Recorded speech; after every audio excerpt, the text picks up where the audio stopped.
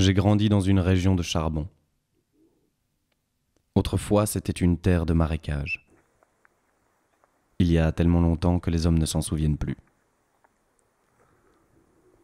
Qui sait, nos ancêtres étaient peut-être des êtres fongiques, tapissés de bulbes, de pustules et de moisissures. Aujourd'hui, elle est percluse de terri, boursouflure d'une époque où la région florissait, cicatrice d'hier. Elle porte encore la marque des pères industriels qui l'ont chérie d'un amour féroce. Un amour qui laisse des traces.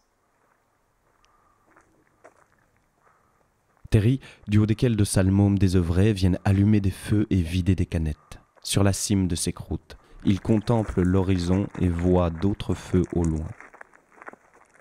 Feux autour desquels se réunissent des mioches qui leur ressemblent.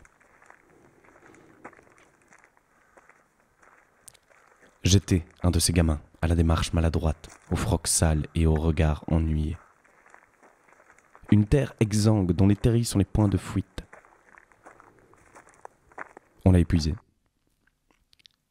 Et il n'y a plus de charbon qui vaille la peine d'être exploité.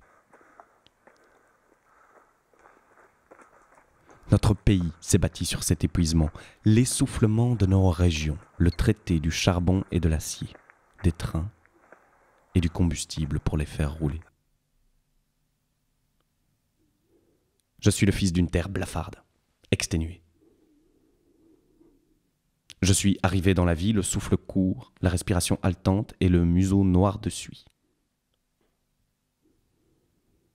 Mon premier cri fut bref, plus proche du hoquet que du braillement, tant j'avais soif de l'air qui m'entourait.